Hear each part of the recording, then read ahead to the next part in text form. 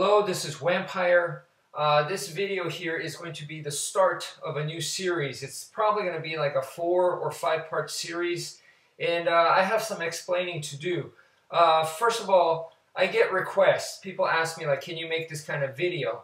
And uh, you know, there are people on YouTube that are actually looking for requests. And uh, me personally, I'm not one of those people unless I specifically say I'm looking for a request can you give me some ideas or something like that? Normally, I am not.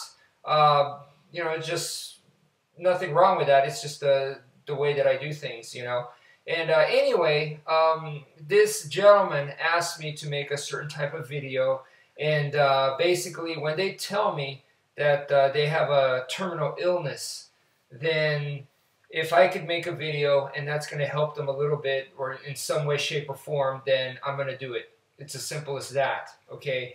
Uh, the type of request, the video that they're asking me to to make, essentially is they sent me a clip of uh, of another YouTube video, and I saw the clip, and they wanted me to break it down. Okay.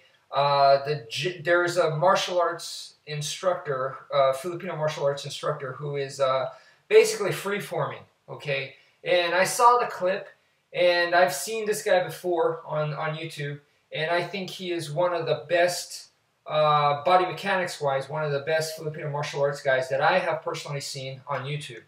All right, and my response to the guy asking me the request was basically that I cannot do it. This guy, uh, this instructor that you're asking me to break down his moves is just, he's just in a, in a higher plane. He's just in a way higher level than me. So you know, uh, there's a whole lot going on there, and I'm just not at the level to to break it down. You know, uh, but after talking to him, I think uh, you know I'm going to try to do it as best as I can. All right, so uh, I'm gonna give it a try, and it, it's really really difficult because like imagine, imagine if you will, uh, you hear music. Okay, it's on the radio or something, and you go, "Hey, I really like that song." Okay, so you want to play it. Okay, you, first you need to know all the lyrics, and then you need to know the notes. And to just do that, just by hearing alone, is very difficult. Okay, even if you are a music instructor, if you even if you are a music teacher, that's still very difficult to do. Now let's say on top of that, all right, that it's jazz. Okay, in other words, they're free forming. Okay, they just kind of did it based on the mood, just based on the feeling and it's very chaotic like that. It's very random. It's very natural. Okay, it's not a fixed pattern. That makes it even harder. And then if the guy doing it is someone like Mozart, even harder. So that's the kind of the situation that I'm in. So um, anyway, I'm like I said, I'm going to tackle it and give it the best that I can. The first thing here, this the video for today. That's you know a big explanation. I'm sorry if that bored you, but just wanted to make that clear. And the first thing that I want to cover here is in the video, the original video, uh, the guy does a lot of grip switching. Okay, so he goes from this standard stick like this to reverse. Okay, so I think the first step is before going into this kind of stuff, let's practice switching from reverse to standard, standard back to reverse. Okay, um, there's basically three types of grip switching. Okay, and the first one is you hold the stick all the way down here, okay? Hold it down here, and you're going to use your thumb and your middle finger to do this, okay? This swinging action, this is what we want, okay? So from here, you're holding it normal, okay, but towards the, the butt right there, okay? And then go, open, open up the top three fingers, thumb, middle finger right here, okay? And then from here, you're just going to swing it down like this, and then grip it just like that. So that's your switch right there. Okay, so from here, now you are in reverse, reverse grip. Okay, so from here, you're going to do the same thing. You're going to go open up and go from thumb to middle finger like this. And then now you got this swing and then catch it up here. And that's how you switch. Okay, so you just go boom like this, you switch, and boom. You see how the swing, I swing and I catch it just like that. Okay, so just practice that both hands because the guy used double sticks, okay? And then this is the first method, all right? If this is comfortable for you, that's good. The main idea is you want to be, you know, smooth as possible as you're doing this, okay, to be able to switch back and forth.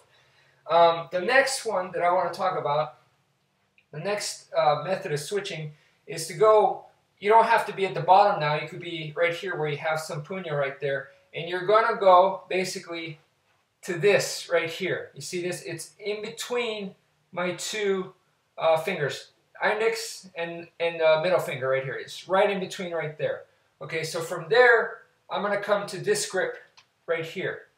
Okay, so basically, index is wrapped around and thumb is securing it on the other side like this. Okay, so from here, there, that's my reverse grip. Okay, I go back to this and bring it back to standard. Okay, so two fingers like that to this and catch. From here, this position right here, to two fingers and catch. Okay, so go one, two, basically, I just almost skipped the, uh, the, the last stage right there where it's the index finger and the thumb grip right there, just because it's you get so much momentum. And then you go back to this one right here, and in this case, when you go up, you almost skip the last phase, which is the two fingers grip right there, just because you get so much momentum coming back up. Okay, so one and two, just like that. One and two. The good thing about this switching method is that you could still have some punyo sticking out. But it is kind of awkward on the fingers, okay? It is kind of weird. But maybe in some ways it's a little bit more solid because instead of just having a finger grip, now you're having more of this like knuckle grip, okay? So, you know, all these grips are going to have plus and minus, and there's probably more different ways of grip switching, but these are uh, some of the, the most basic main ways that I know of. Okay, so the last grip switching method is basically, the concept is this, you're tossing the stick, you're throwing the stick, and then Right now it's in standard, and I'm going to throw it up in the air, and as I throw it, I'm going to catch it now in reverse, okay? Now it's in reverse, and I'm going to throw it again, and now I catch it in standard. That's the idea, but I don't want there to be a big space between the stick and my hand, okay? I want it to be very subtle, like this, where you could hardly tell that I'm actually losing contact for a split second. I mean, my skin's still on there, but grip-wise, I mean, I am basically tossing, you know, the stick right there. It's just very, very quick, very, very minimal, okay? So that, that is the last way to do that, and I, personally, it is my favorite way, okay? So, but anyway, uh, you should be comfortable with at least those three methods. Be sure you practice it with both hands, okay? And you should practice it from the five angles of attack at least. That's that's something you should be practicing. Your angles of attack, maybe you know a different set of five than I do, or maybe you know 12 angles of attack. Whatever it is, as you're doing it, you should incorporate it and then go back, you know, like this. And then I'll go go back and go side to side, all right? Stab, boom, stab right here, and then go back to your angles of attack. So, you know, incorporate that into your training Okay, so that's the first part of this video, and we'll cover more stuff that the guy did in, in his video. So thank you for watching, and take care, folks.